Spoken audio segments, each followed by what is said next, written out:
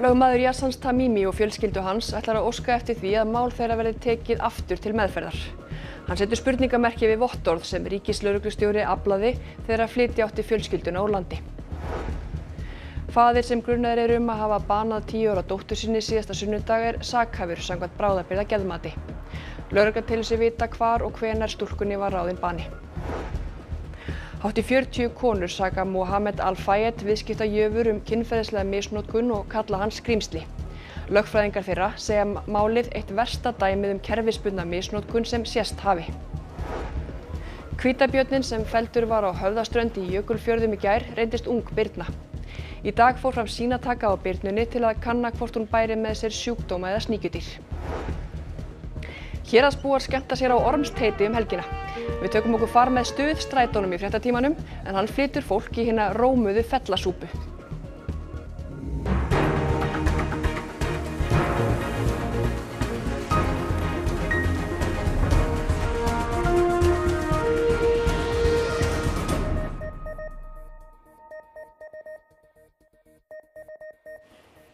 Gott kvöld. Lögmaður Yassans Tamimi ætlar að sækja um alþjóðlega vernd fyrir drengin og fjölskyldu hans nú þegar þau hafa fengið rétt til efnisleira meðferðar. Hann segir stjórnvöld ekki geta hafnað umsókn hans úr þessu. Ég stefna það að senda beðinni til kæru nefndar útlendingamála núna í kvöld eða um helgina sem þá, líkur þá fyrir á mándagsmorgun hjá kæru nefnd um það að nefndin endur upptæki málið Íslenska ríkið hefur sex mánuði til þess að flytja hælisleitanda af landi brott frá því að úrskurður kærunemdar útlendingamála er kveðin upp. Á morgun verða liðnir sex mánuðir frá því að nefndin hvað upp úrskurði máli Jassans Tamimi, 12 ára fatlaðistrengs með vöðvarýrnunarsjúkdóminn Duchenne. Hefur væntingar til þess að þetta verði samþygt í þetta skipti? Já, reyndar held ég að stjórnvöld getur hennilega ekki sinja því. Laugin eru mjög skýrum þetta. Flíti átti Jassan og fjölskyldu hans til spánar þaðan sem við komum að fara nótt mánudags en þeirri ákverðun var snúið við þegar fjölskyldan var komin út á flugvöll. Ríkislauruglustjóri upplýstu um að læknir hefði skrifað undir vottorð um að Jassan væri ferðafær. Já, ég fekk afrið þessu vottorði núna í gæðir Eh, mér finnst þetta nokkuð skrítið vottor, ég verði að viðkjöna það. Þar segir lauruglu yfirvöld spyrja vegna yfirvofandi brottvísunar hvort að Jassan geti setið í flugvil í fjóra og hálfan tíma. Svarið því er játandi. Það er hins vegar mat hans meðferðarleiknað sem best væri fyrir velferð hans og heilsu að hann gæti verið áfram á Íslandi. Eh, hann er ekki spurður að því hvort að e, flutningur Jassans til að fá flugvelli, flutningur Jassans í úr flugvel geti valdið honum hættu eða sé honum fyrir bestu og það vekur þá sérstaklega aðtikli líka að læknirinn tiltökur það í vottorðinu að hann telji það að vera gegn bestu hagsmunum í Asans að flytja. Ríkislauruglustjóri fundaði í dag með yfirlögfræðingi réttindageslu fallaðs fólks. Þau svör fengust frá ennbættinu að ríkislauruglustjóri muni ekki tjá sig frekar um þetta mál. Fadurinn sem grunnaður er um að hafa ráðið tíu ára dóttur sinni bana og sunnudagar sakhæfur samkvæmt bráðabyrða geðmati. Þetta, heima, þetta herma heimildir fréttastöðu. Þá telur laurugla sér vita hvar og hvenar stúlkunni var banað. Maðurinn hefur verið yfirheyður í tvígang en laurugla upplýsir ekki um hver afstæða hans til málsins sé. Laurugla óskaði í gær eftir myndefni frá vekkfærendum sem ógu um Krísuvíkuveg milli Vallarkverfis í Hafnarfyrði og Vigdísarvallarvegar milli 13 og 18 á sunnudag. Nokkur myndskeið hafa borist en laurugla leggur áfram áherslu á að fólk hafi samband, hafi það í gögn í fórum sínum eða upplýsingar um málið. 12 fórust og minnst 66 særðust í loftárás Ísraelsmanna í Beirut í Líbánun í dag. Þetta er þriðja árás Ísraelsmanna á borgina frá því að stríð Ísraelsmanna og Hamas hófst fyrir tæpu ári. Ísraelsmenn hafa hert árási sínar í Líbánun undanfallna daga og í árásdagsins fjell einn af helstu leðtugum Hezbollah-samtakana. Hezbollah hafa einnig gert árásir á Ísrael sem beindust að njósnamiðstöð sem samtökin segja ábyrga fyrir morðum á félögum í samtökunum. Þar er væntanlega vísað í þegar að símbóðar í fórum félaga í samtökunum voru sprengtir fyrir vikunni. Það er heilin sem sér en ekki augun, segir einn helsti sérfræðingur í heilatengdri sjónskerðingu. Kona sem greindist með skerðinguna á fullólinsaldri segir fólk hafa talið sér lata eða heimska. Það er nánast enginn sem hefur heyrt um þetta. Það er nánast enginn sem hefur kynnt sér þetta. En samt er þetta það algengt að við erum að tala um einna hverjum 30. Myndin Acting Normal við CVI var sínd í dag í sal íslenskrar erðagreiningar. Nokkuð örugt þykir að miljónir séu með heila tengda sjónskerðingu eða CVI án þess að vita það. Því hefur verið rugglað saman við aðtiklisbrest, lesblindu og einhverfu og fólk oft talið vera latt eða klaufalegt jafnvel heimst. Enginin er ekki eins hjá öllum. Dagbjörtu vantar algjörlega neðra sjónsviðið. Og þá horfi ég niður, niður fyrir hérna niður á tættin á mér. Alltaf. Og sko það er ekkert eitthvað sem að sérst, flestir gera. Flestir lappa bara og horfa beint fram. Hluti heilans framkallar ekki það sama á hjá öðru fólki og skinnjunin verður öðruvísi stundum eins og rörsín. Dr. Gordon Dutton er einn fremsti vísindamæður heims á þessu sviði. It is a condition in which the brain is not working properly with respect to vision. We use at least 40% of our whole brain to create the picture. We do not see with our eyes, we see with our brains. Hverju breytti það að fá greiningun? Jésús minni þetta, sko, ég ætla ekki einu svona að byrja að útskjara það, sko, þetta er, það var eins og, eins og ég sagði því, það var eins og veggur hefði brotnað utan að mér. Þetta var ekki ég, þetta var ekki leti, þetta var ekki heimska, þetta er líkanlegt ástand. 37 konur hafa sakað viðskiptajöfurinn Mohamed Al-Fayed um nauðgun og kynferðislega áreitni. Fyrst var greint frá ásökununum í heimildamind Breska ríkisútvarpisir í gerkvöld en svo nánar á bladamannafundi í morgun. Konuna voru starfsmenn verslunarkeðunar Harrods sem Al-Fayed átti. Lögmennir segja stjórnendur Harrods meðseka þar sem þeir tryggðu konunum ekki örugt vinnuumhverfi. Þeim, þeim var jafnvel hótað þegar þær kvörtu undan misnótkunni. Al-Fayed lést í fyrra í hári elli. This is one of the worst cases of corporate sexual exploitation that certainly I and perhaps the world has ever seen. It's horrific because the acts carried out against these young women and girls, and I say girls because most of them were only 19 to 24 at the time, and some were as young as 15 and 16. We will say it plainly Mohammed Al Fayed was a monster.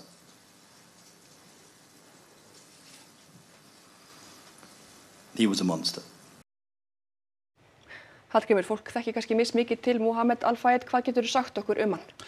Ja, hann var frá Egiptalandi en uh, var aðlega þekktur í, sem mikill viðskiptajöfur í Breitlandi. Uh, þekktastur í, í svona viðskiptageirinum fyrir að hafa átt vestlunarkeðina Harrods og fræga hótel Ritz. Uh, en hann er líka svona þekktur fyrir að hafa verið fadir uh, Dodi Al-Fayed sem var kærasti díunu prinsessu uh, og fórst með henni í bílsleysi í, í París árið 1997.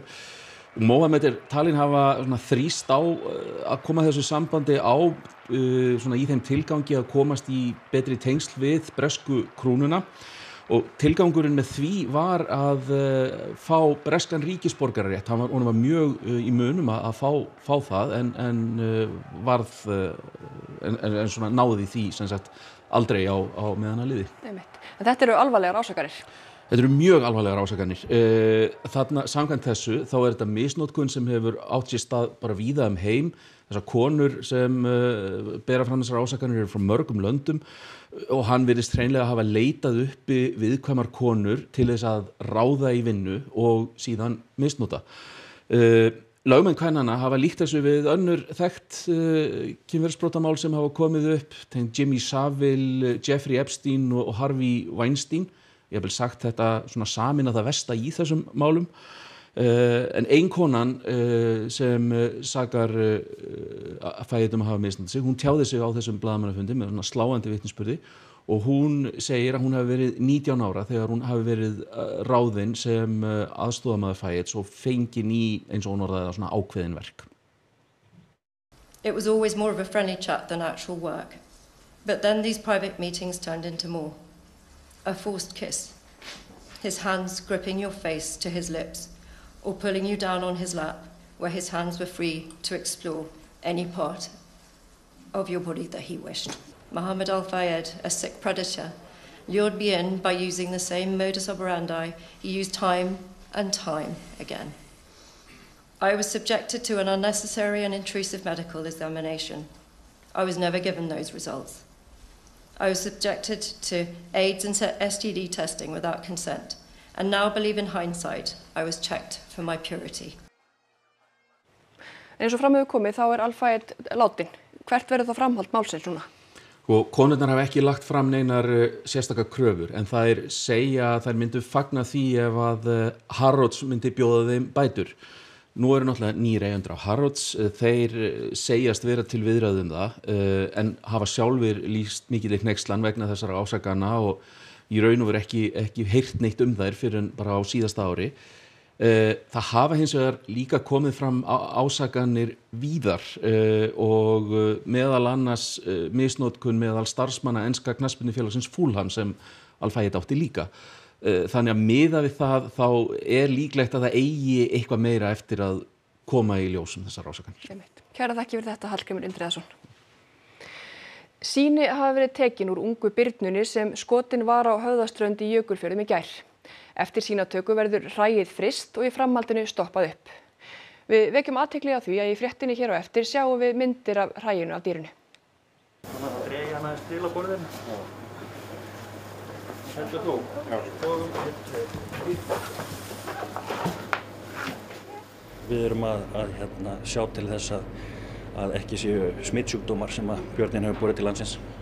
Uh, við erum með mjög góða sjúkdómastöðu á Íslandi og við viljum vera vissum að hann ber ekki einhvað með sér til landsins. Skoðun á bjarndýrinu í dag leiti í ljós að þetta var ungbyrna. Hún mæltist um 164 cm og vó á bylinu 150 til 200 kg. Til hennar sást í gær á höfðaströnd í Jökulfjörðum og var hún feld. Við tók flutningur til Reykjavíkur með þyrlu landhelgiskeslunar. Í sínatökunni í dag var meðal annars prófað fyrir hundaæði og ýmsum sníkjudýrum. Sínin verða rannsökuð á keldum og ætla má að niðurstöður likki fyrir í næstu viku. Okkar hlutverk er náttúrulega bara að gæta smittvarna uh, og svo uh, sem matvælastofnu þá, þá er það hérna, dýra velferðin einnig og, og okkur sínist bara að þetta hafi allt saman farið eins og, eins og bestskap farið. Eftir sínatökuna var hræinu komið fyrir í fristi. Tilstendur að stoppa það upp eins og gerðnan er gert þegar að kvítabirnir koma hinga til lands og eru feldir. Raf orkuframleysla í Úkrænu verður líklega aðeins tveir þriðju af þörfinni næsta vetur vegna skemta á orkuinnviðum. Evrópusambandi bóðar stuðning sérstaklega fyrir raforkuframleyslu og húshitun sem og almenna efnas aðstóð sem tryggja á með fristum rúsneskum eigum. Brunnin spennir úr einu af mörgum raforkuverum Úkrænu sem rúsar hafa sprengt. Spennirinn er nú til sínis á Kotraktova-torginu í Kív og er tilgangurinn sá að fólk gerir sér grein fyrir því hver erfitt sé að halda byrtu og yl í landinu. Fólk getur svo skilið eftir armbönd við spennin með baróttu kveðjum. Я на підприємстві 32 роки відпрацював. То, ну, якщо чесно, деколи сльози навертаються, коли бачиш це. Електроенергія – це кров економіки. Не буде економіки, ми не переможемо. Мусимо працювати. Rússar hafa gert yfir þúsund árásir á orkuinnviði Úkrænu frá upphafi stríðsins fyrir tveimur og hálfu ári. Alþjóða orkumálastofnunin segir að líku séu á að Úkræna geti aðeins framlengt 12 af þeim 18 gigavöttum sem þarf í vetur. Mannrettindastofnun saminuði þjóðana hefur áhyggjur af stöðunni. Ukraine can no longer meet its population needs during peak periods. The situation looks bleak for this winter.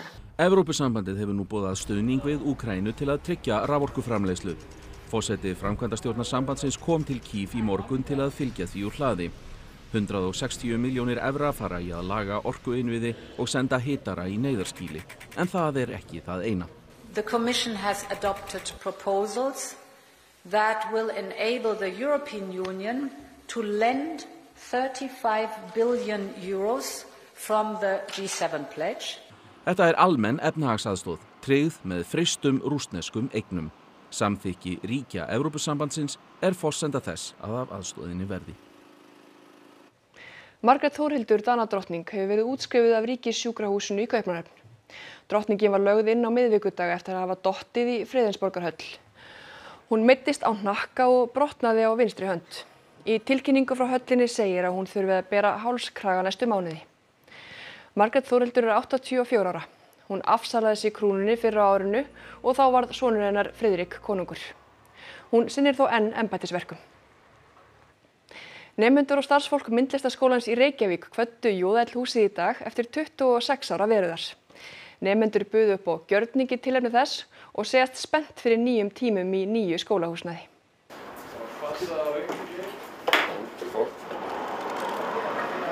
Í dag mátti sjá hóp nefnda skólans þramma um götur miðborgarinnar berandi stóla. Gjörningurinn er innblásinn af nefndum og starfsfólki Verslunarskóla Íslands sem árið 1986 ferjuðu stóla á borði í flutningabíla og gengu frá gamla skólanum við grundarstík 24 að hennum nýja við ofanleiti 1. Á mánudaginn hefst nýr kapli í sögu myndlistaskólans í nýju húsnæði að rauðarárstík 10 en skólinn var einmitt þar til húsa á 8. áratögnum. Ég er ofinn fyrir hérna breytingunum. Það var smá svona sorgatilfinning í skólanum í dag að vita þetta væri bara seinasti dagurinn hérna en ég er mjög spennt að sjá nýja húsnaði og bara tilbúin í þetta.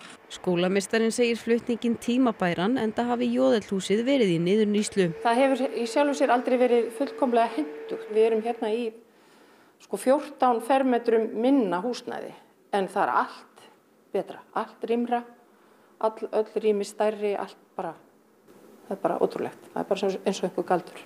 Vinna við að pakka dóti og flytja milli húsa hefur staðið yfir frá því í júli og það er ekkert grína að ætla að færa heilan myndlistaskóla. Þannig að þetta er kannski svona eins og að flytja búslöfuna sína að sinnum, hvað, tíu? Nei, sinnum 200 eða ég veit ekki. þetta er bara rosalegt verkefni. Eftir um fjögura kílometra göngu komu nefnendur á leiðarenda. Þau segja gjörningin tákrænan. Það við séum ekki bara að færa hérna, húsgögnin, heldur um að færa orkuna með okkur, um að taka orkuna úr þessum skóla, þessum góðu hérna, skapandi orku sem er búin að ríkja hérna og færa henni yfir í nýja húsnæðið með húsgögnunum og með fólkinu sem er takað þátt. Bæjarháttiðin Ormsteiti á Héræði nær hápunkti um helgina. Í kvöld bjóða fellbæingar heim í fellasúpu og til að keira stemmingunni í gang er starfandi svo kallaði stuðstrætó sem sér um að koma fólki á milli eigilstaða og fellabæjar. Rúnarsnær Reynisson fekk far með stuðstrætónum. Ég held að sé óvægt að segja að stuðstrætóin stendur undir nafni en hann er hjá mér hérna, hann Halldór sem skipulegur skemmtununa. Segðu okkur, er mikið um að vera um helgina? Já, það er náttúrulega alltaf nóg að gera hérna fyrir austan, eins og allir vita. En sérstaklega núna þá er svona hálfgerð uppskeru háttíð og við ætlum að uppskera það sem við höfum sá í sumar. Meðal annars með bara að skemmta okkur og skemmta öðrum, aðalega öðrum kannski. Eru margir að nýta sér stuðstrætóin til að komast í fellasúpuna? Já, við erum með þessa fellasúpu. Til að byrja með var hún alltaf um nokkrum árum og þá var engin stuðstrætó og það, svolítið, það er svolítið langt oft í fellabæinn sko. og núna breyttum við fyrir nokkrum árum rétt fyrir COVID þá breyttum við um og settum stuðstrætó í gang og tókum lúðrásettinni hérna á eigirstöðum okkur traustataki og þau byrja yfirleitt þetta og svo bætum við aðeins í svona setnipartinn keirum svona til að verða nýju og meðan að end til að nóga súpu og, og, og endum þetta svo hérna í partí bara í bænum, einhverju góðum pub. Og nú erum við komin hérna yfir í Fellabæi og búin að fá ráðlaðan dagskamt af Lúðrasveit. Við erum á Ullartanga hjá henni Siggu og hún er nú ekki að elda fellasúpu í fyrsta skipti eða hvað Sigga? Nei, ekki alveg í fyrsta skipti. Ég er búin að vera með frá upphæfi, vorum fyrst 2014. Þannig að þetta er búið að vera nokkur sinnum. Og það er hægt að fá súpu nokkuð víða hér í Fellabæi? Já, ég, við erum á fjórum stöðum og það er úrval, gæsasúpa, fiskisúpa og sveppasúpa. Það, það er bara fínt. Og þú ert með rjúkandi gúlasúpu og það er eitt tráefn í henni sem að ég fann bara strax að þú rétti með bollan og þetta er kærleikur, náunga kærleikur og nágranna kærleikur. Þetta er svona svolítið falleg hefð að, að halda svona súpuhitting.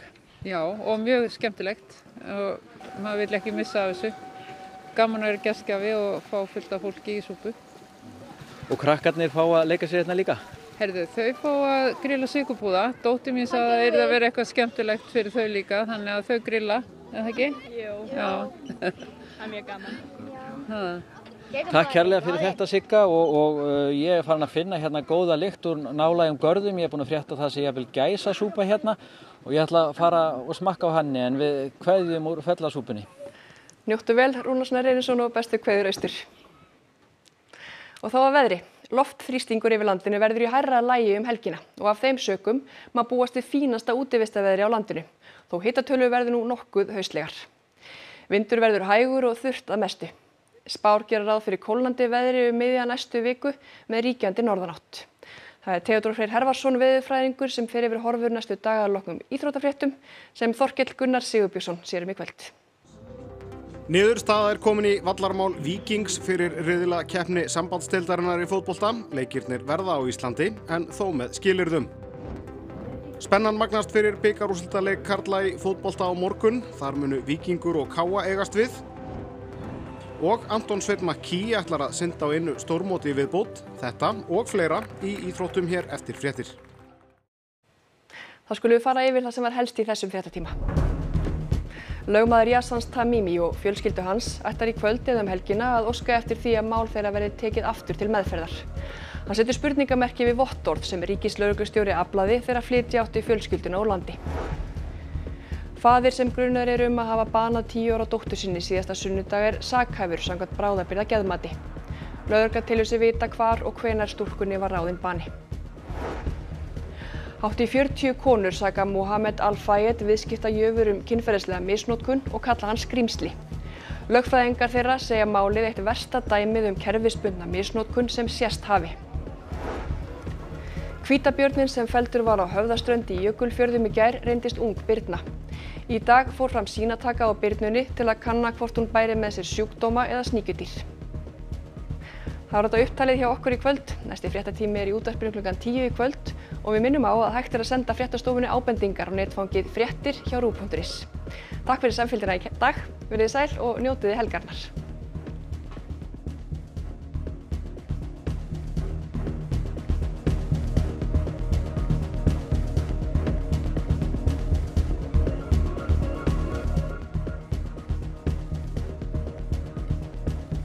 Á RÚF í kvöld.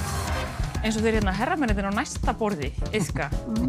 Það er orðið sukk. Sukk? Já. Kappsmál, skemmt í þáttur um íslenska tungu þar sem þáttakundur etja kappi í fjölbreyttum leikjum og þrautum. Gísli Marteinn tekur á móti gestum og fer með þeim yfir helstu atbyrði vikunar. Sera Brán, breskur sakamála þáttur um hinn slungna Sera Brán sem leysir klæpsamleg mál á milli kirkjuaðtafna. Einstakt fólk, hjartnæmt franskt drama eftir handritsöfunda Intouchable eða Untouchables. Myndin fjallar um Bruno sem starfa með einhverfum ungmennum. Já, bara mikið um að vera á, á, á þessum verti. Smekkfull hérna fristihúsin og, og svona keppni á milli fristihúsa, hverju var að frista mest og... Hvernig nefnandi varstu? Ég bara frábær. Samfærandi er frábær. Það verður alltaf verið bolti og, og bara keppni og bara ég, alltaf elska og bara haft gaman að.